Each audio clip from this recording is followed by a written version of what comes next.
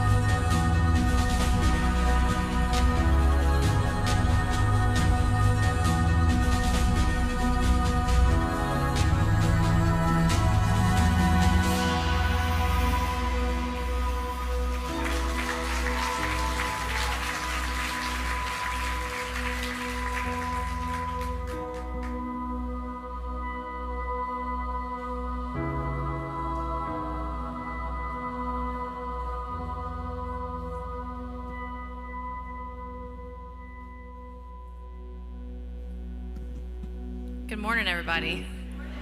How's everybody doing this morning? Anybody excited to be here for Baptism Sunday?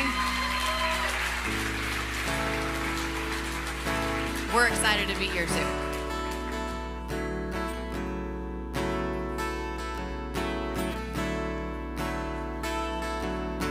The Spirit was moving over the water. Spirit, come move over us. Come rest on us. Come rest on us. As the Spirit was moving over the water. Spirit, come move over us. Come rest on us. Come rest on us. Won't you come down? Spirit, when you move, you make my heart pound. When you fill the room, you're here and I know you are moving. I'm here and I know you will feel me come down. Spirit, when you move, you make my heart pound. When you fill the room, you're here and I know you are moving. I'm here and I know you will feel me.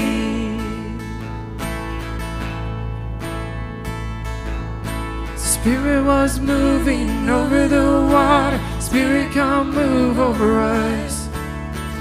Come rest on us. Come rest on us. As the Spirit was moving over the water. Spirit, come move over us. Come rest on us. Come rest on us. And won't you come down? Spirit, when you move, you make my heart pound. When you fill the room, you're here and I know you are moving. I'm here and I know you will feel me come down. Spirit, when you move, you make my heart pound. When you fill the room, you're here and I know you are moving. I'm here and I know you will feel me.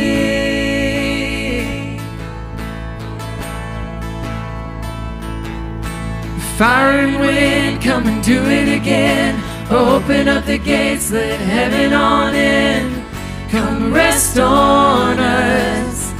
Come rest on us. Oh, fire and wind, come and do it again. Open up the gates, let heaven on in.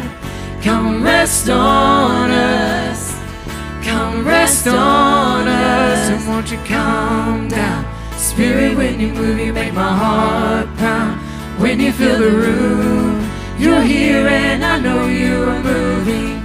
I'm here and I know you will feel me come down. Spirit, when you move, you make my heart pound.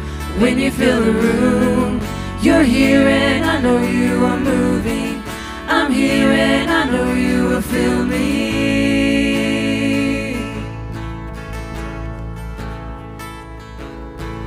Holy Spirit,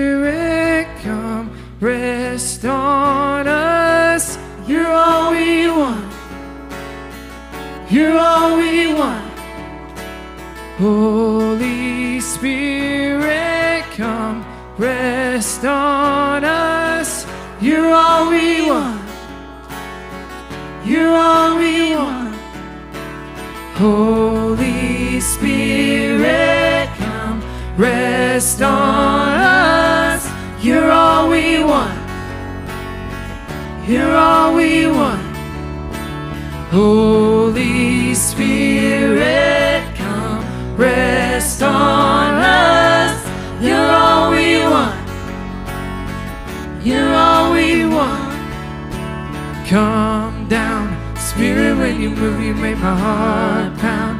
When you fill the room, you're here and I know you are moving. I'm here and I know you will feel me come down. Spirit, when you move, you make my heart pound. When you fill the room, you're here and I know you are moving. I'm here and I know you will feel me.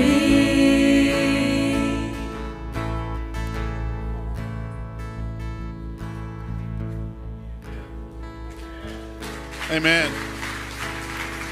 You know, this week as I was preparing, I was thinking about all the people that are going to get in that water today and the and the transformation that has taken place in their lives. the public profession of their faith. The, they, they go into the water. It's an outward expression of an inward transformation that has been made in them. And I got thinking about what it means to be that dedicated to something.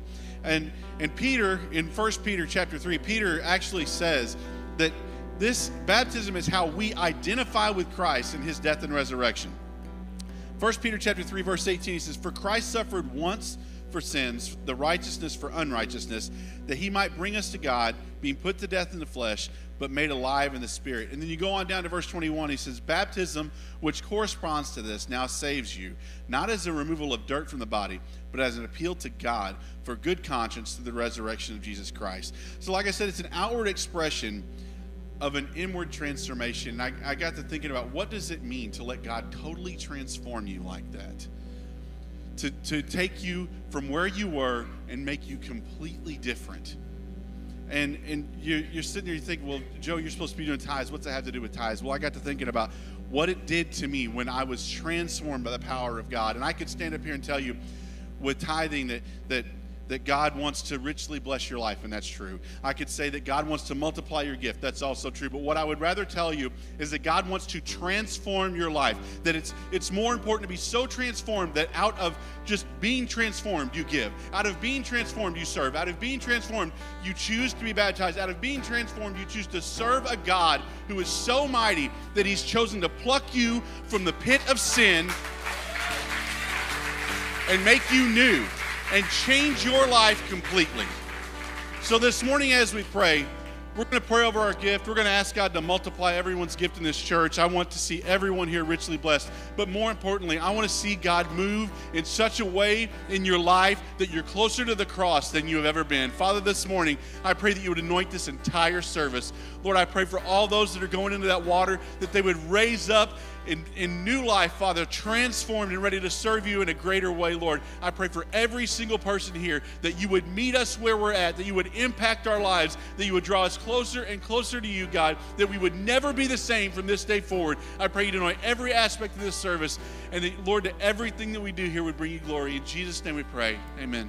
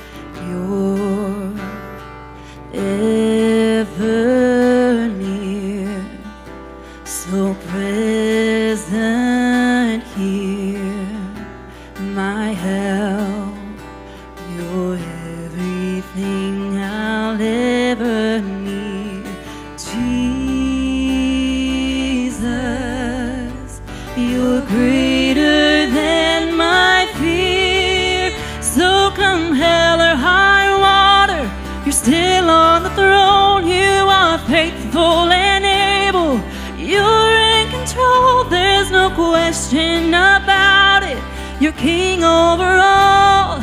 I know who you are. Yeah. I proclaim to know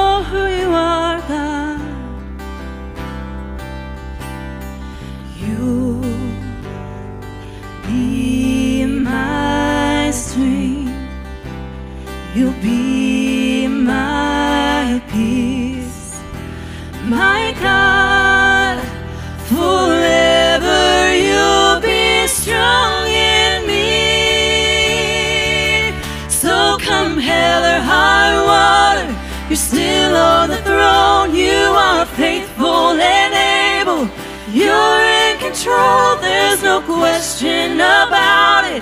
You're king over all, and I know who you are. So come hell or high water, you're still on the throne. You are faithful and able. You're in control, there's no question about it. You're king over all, and I know who you are. You're steady, constant. I have this confidence. Mercy, goodness. I have this confidence. Oh, awesome and mighty. I have this confidence. Hey, I know who you are. Defender, healer. You are my confidence, protector, shepherd. You are my confidence, Jesus, Savior. You are my confidence. I know who you are, and I know who you are. So come hell or high water, you're still on the throne. You are faithful and able. You're in control, there's no question about it. You're king over all, I know who you are. So come hell or high water, you're still on the throne. You are faithful and able. You're in control, there's no question about it. You're king over all, and I know who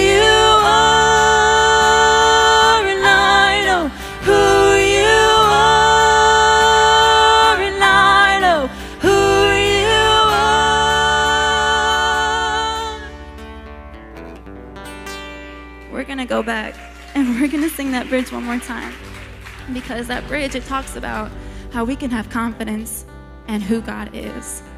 And he is an unchangeable God. He is unmovable, he is unwavering. He is steady and he is constant just like how we sang. And he is not a liar. He is not a deceiver. He's not making plans against us. He's not setting us up to fail. No, He is a loving God. He cares for each and every person in this room. He has a plan for each and every person in this room. And so we're going to sing this bridge again, and it says that we can have confidence. So I want us to sing it with confidence because He is an unshakable God. So let's sing it together. You're steady, constant. Mercy, goodness. I have this confidence. Oh, awesome and mighty. I have this confidence. Hey, I know who you are. Defender, healer. You are my confidence, protector, shepherd. You are my confidence, Jesus, Savior. You are my confidence. I know who you are. Defender, defender, healer. You are my confidence, protector, shepherd. You are my confidence, Jesus, Savior. You are my confidence.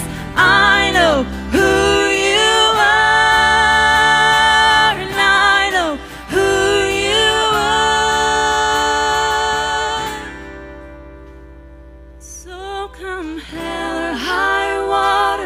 you're still on the throne. You are faithful and able. You're in control. There's no question about it.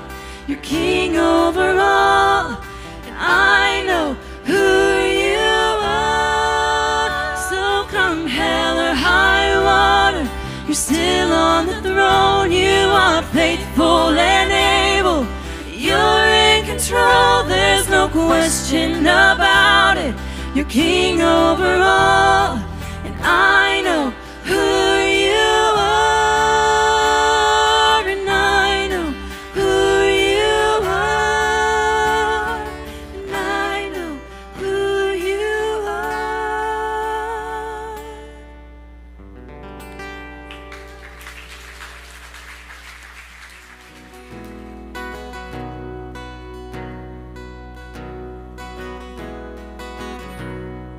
still see the steeple, little church on a hill. There's a line at the altar every pew had been filled. I remember the water, the choir singing old hymns. There's a peace in the valley.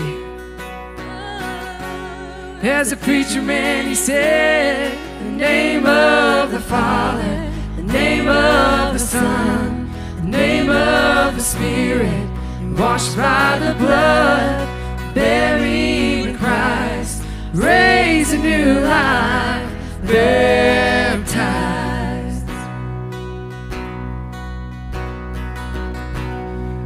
Still hear the sermon.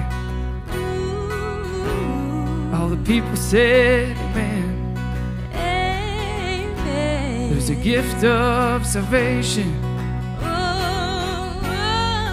We're born again. I remember the power, the Holy Spirit rushing peace like a river.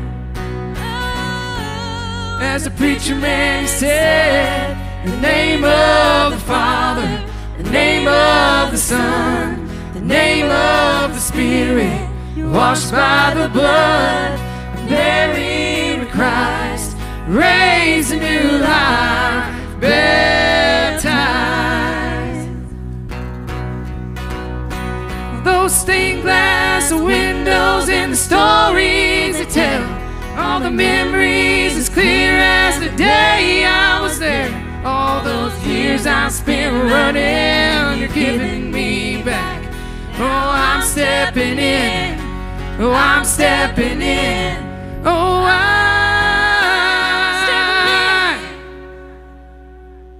Name of the Father, the name of the Son, name of the Spirit. You're washed by the blood, you're buried with Christ, raised a new life, baptized. Oh, I've been baptized. Name of the Father, the name of the Son, the name of the Spirit. You're washed by the blood, you're buried with Christ, raised a new life, baptized. I can still see the assembly. We Going church on a hill.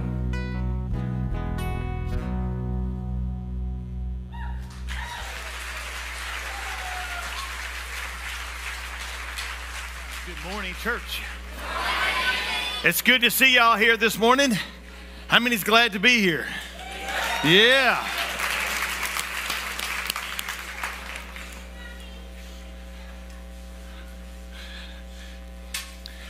Man, y'all did an incredible job. You did. Yeah, it did. Acoustical set, unprepared. That's good. Good. I'm going to speak very briefly, and everybody said, no, you're supposed to say, oh, it's bad. Way to go, June. Good to see you, kids. What y'all do in kids' church this morning? Sing? That's good. That's good. Well, y'all beat us. We didn't dance in here. We're going to go to Mark, uh, Luke chapter 16. If you want to go there, I'm going to be brief. And I'm going to read what I've got written down. Why do we make such a big to do here at Raise, Raise Life Sunday at the assembly? Why do we why do we make it a big deal? It's new life. It is a big deal. It's one of the biggest deals we can do to show the Lord how grateful we are. It gives new believers an opportunity to take a stand in front of others in such a way to remove all doubt that they have met Jesus. Going public with our faith so that all can see and know that we are not ashamed of our embracing his baptism. We're going to stop and have prayer right now. I don't know what's going on over here, but we're going to pray.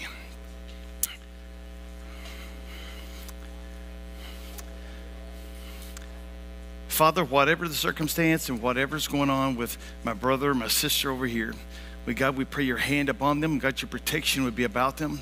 Lord, that you will raise them up, Lord, just the way that you can and only you can do. Pray, God, there be no fear and no, no unbelief in, in this whole church congregation. But God, we step in faith and we believe you, God. We ask for your hand to be upon the whole situation in Jesus' wonderful name. Amen. Amen.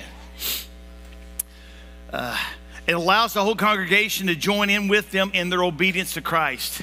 Everybody gets to be a partaker and everybody gets to worship and, and be glad what God has done. And lastly, it is the least that we can do to show our gratitude, and that's going to be the term today, to show our gratitude for what Christ has done.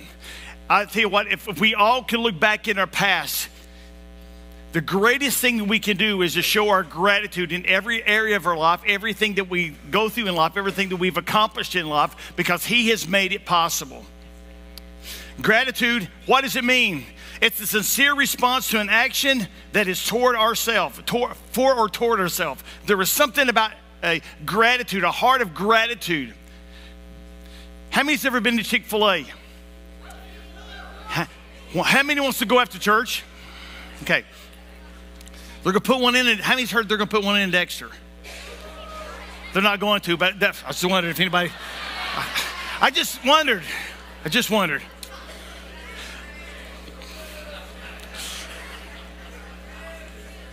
I didn't mean to be rude. Gratitude gratitude turns what little you have into abundance.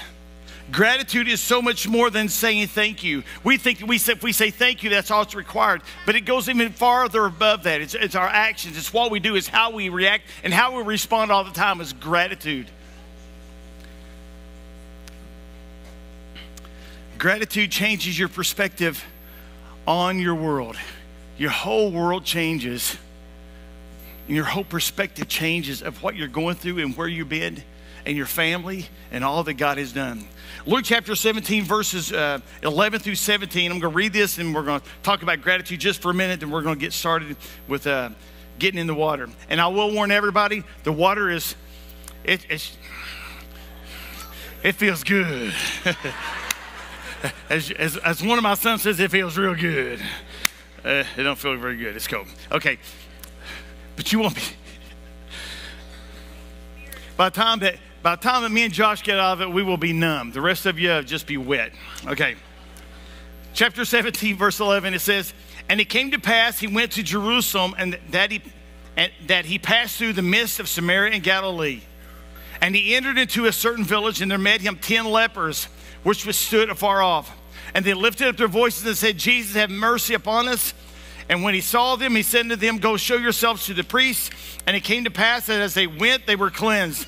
And one of them, when he had returned, saw that one of them, when he saw that he was healed, turned back and with a loud voice glorified God and fell in at his feet, at the feet of Jesus, and gave him thanks. And he was a Samaritan. And Jesus answering said, Were there not ten cleansed? Where are the other nine? I thought, man, what a great example of everyone in their church today. We need to be the one that, that comes back, the one that comes back and is grateful for what he has done, that shows real gratitude. And it isn't something that is necessarily about glorifying us and bringing the attention to us. It's about giving Him attention and glorifying Him with our body and, and how we respond. And everything and everything we do, this should be the congregation when we go out in the community, everybody doesn't ridicule. Everybody says, man, those people are the most great, grateful people that I know. But it's something that has to come from within. It's understanding who Jesus is in your life. It is. It's understanding who Jesus is in your life. I'm grateful all these kids are up here. It's incredible. But these kids need to learn now about the heart of being grateful.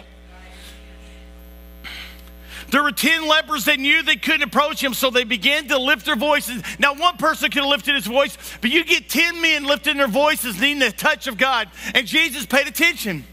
And he didn't have to go near him, he didn't have to go touch him. He just said, Go and show yourself to the priest. And so they all went, then all of a sudden, one of them realized he was already healed. And instead of going any farther for approval of man, he went back to the source of his healing. He was grateful for what God had done in his life instantly. And the sad thing is, he was a Samaritan. Not that Samaritans are sad or, or bad, but Were the other guys Jews?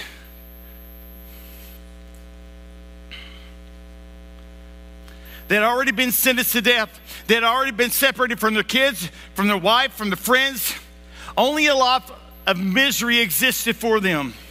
But they still found faith to ask. Verse, four, verse 14 says, Simply go your, so show yourselves to the priest. Can you, can you imagine the priest and all those guys come running up to you for observation to inspect them? The priest had to be impressed, moved hesitant, bewildered, full of questions as he began to ask him questions. He asked the lepers.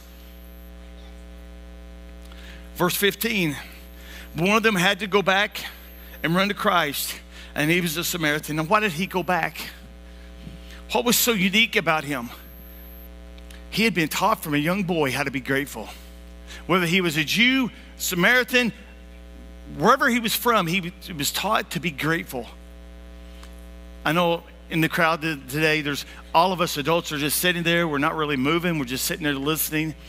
And I got a little buzzes, a little bees all up here. They're up here talking, moving forward, all this stuff. But they are learning to be grateful, and they learn it from us. If you are an adult and you are a parent, you need to be grateful for what you have and what God's done in your life. And from this day forward, absolutely. And this day forward, everybody that gets submerged in water, they need to be grateful for what Christ has provided for them. Because He has provided hope when there wasn't any hope. He's provided freedom where there used to be bondage. Today we have people of all ages being baptized, but not because of being entitled. They will be showing their willingness to get baptized because of their gratefulness, just as the one leper was grateful for God, has, God had provided. This morning, let's glorify God through other people being baptized. Now, some of you will clap, some of you will go to sleep, some of you will do whatever. But this morning, stay focused. We're going to see God do some amazing things in baptism service this morning. Amen.